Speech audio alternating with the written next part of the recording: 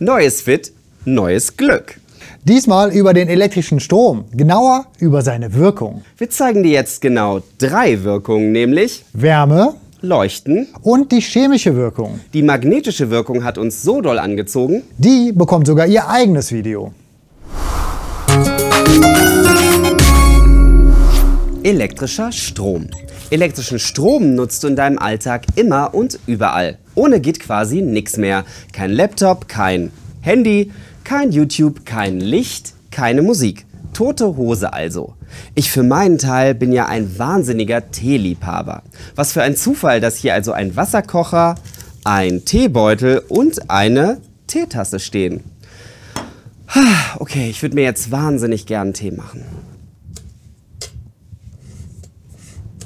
Warum geht denn das nicht? Strom ist aus. Wie, Strom ist aus, die Kamera läuft doch. Die hat einen Akku. Holter die Polter, fehlen dir die Volter, dann bloß nicht verzagen. Mr. Strom fragen, was hat zwei Daumen und kann so ziemlich alles? Ich, Mr. Strom. Mit mir kommt Schwung in die Bude. Fernseher, Toaster, Heizdecke, Kronleuchter, kein Problem. Ich kann alles. Äh, Simon? Ich bin nicht Simon, ich bin Mr. Strom. Oh, dein Ernst? Holter die Polter, fehlen dir die Volter. Ey, spar dir die Show, wir haben keinen Strom. Kannst du das übernehmen? Ja klar, ich kann alles. Nur ein Klick, das ist doch ein Klacks und schon fließt der Strom und mit meinem Röntgenblick kann ich auch direkt das Kabel scannen.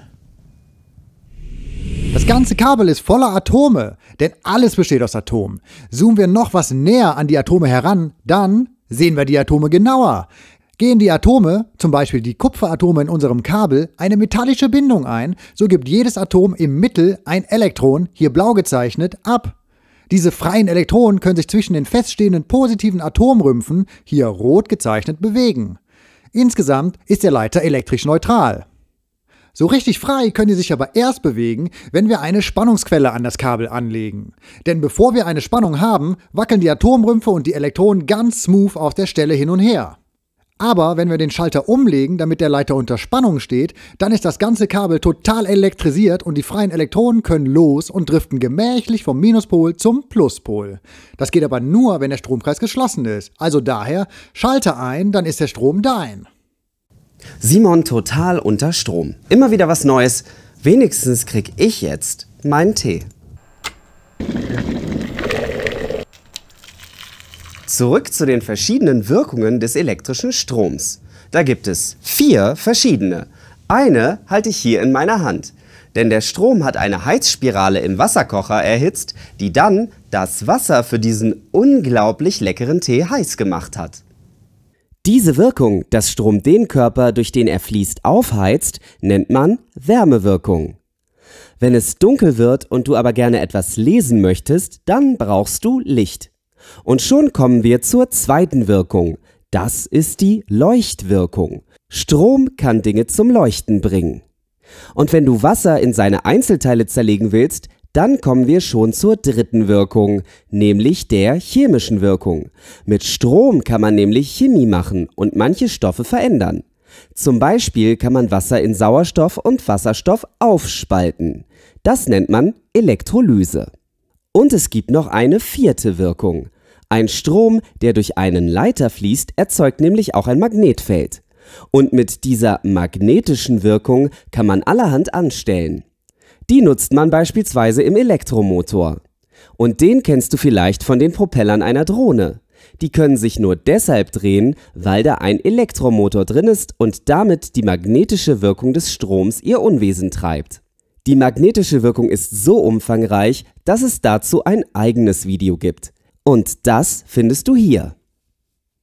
Wir nehmen jetzt erstmal diese drei Wirkungen genauer unter die Lupe.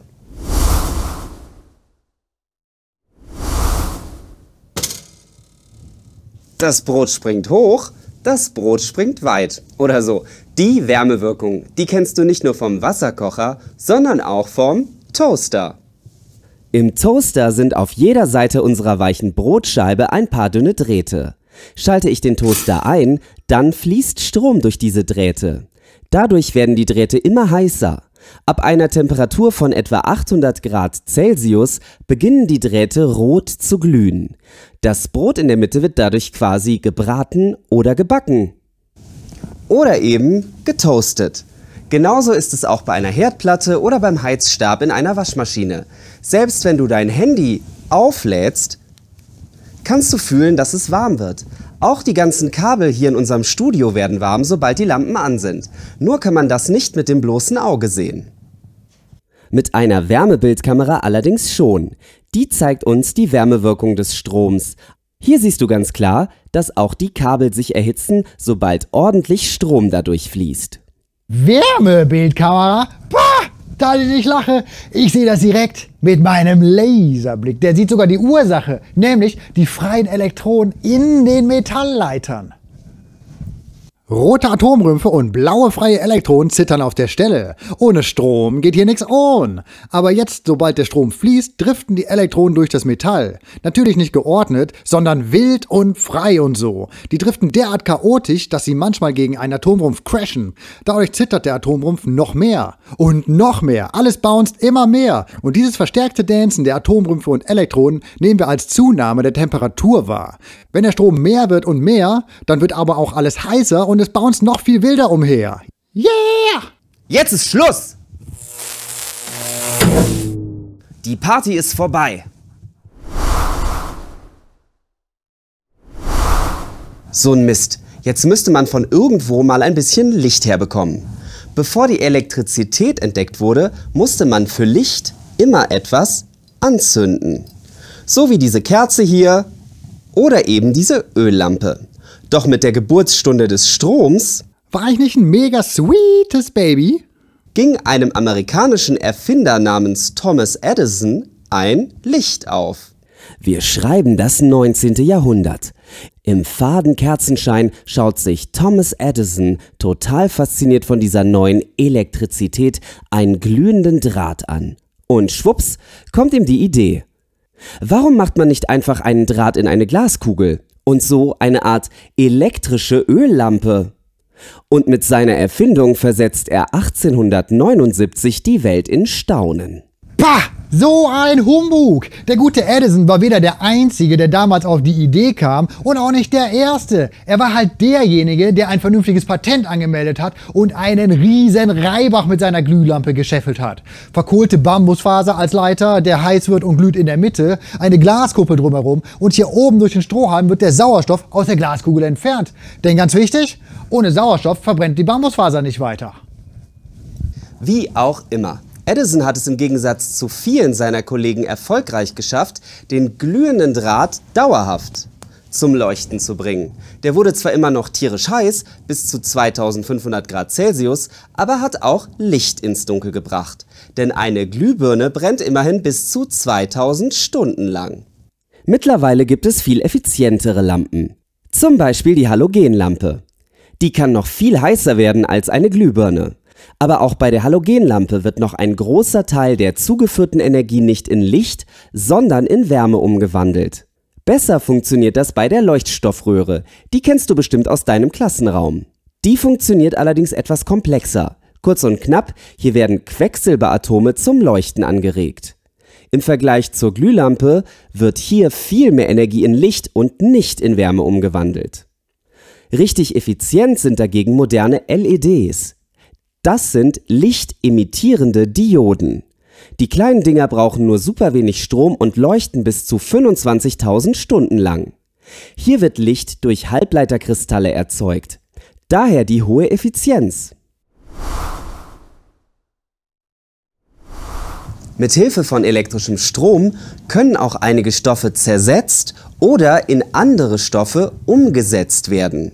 Das ist dann die chemische Wirkung von Strom. Das nennt man auch Elektrolyse.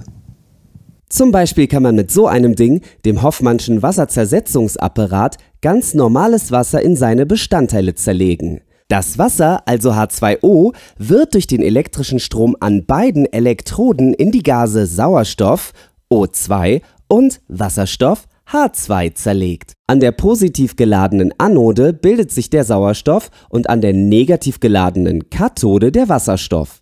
Die Gasblasen blubbern dann nach oben und das Gas kann so gesammelt werden. Und das könnte noch ziemlich interessant werden. Den Wasserstoff kann man nämlich auch super als Energiespeicher verwenden. Eine Brennstoffzelle kann daraus dann so viel Power ziehen, dass man damit sogar Autos oder Flugzeuge antreiben kann. Und wenn man den Wasserstoff durch eine Elektrolyse mit erneuerbaren Energien gewinnt, ist das dann sogar ein recht sauberer Treibstoff. Fun Fact: Das ist überhaupt keine neue Idee. Der gute Jules Verne hatte schon 1875 in seinem Buch Die geheimnisvolle Insel vorhergesagt. Ich bin davon überzeugt, meine Freunde, dass das Wasser dereinst als Brennstoffverwendung findet, dass Wasserstoff und Sauerstoff die Bestandteile desselben zur unerschöpflichen und bezüglich ihrer Intensität ungeahnten Quelle der Wärme und des Lichtes werden. Wie überaus angenehm, dass wir auf unserem Planeten Wasser in Hülle und Fülle haben. Und wenn du noch tiefer einsteigen willst in die Welt der Elektrolyse, Dann schau doch einfach bei unseren Kollegen von Life Chemie vorbei. das ist alles andere als Elektrolyte, sondern fast schon Dynamite. Boah, Simon, ich bin total froh. Wieso? Von deiner komischen Nummer erlöst mich jetzt ein Total elektrisierender Spickzettel. Peace out, yo. Yeah!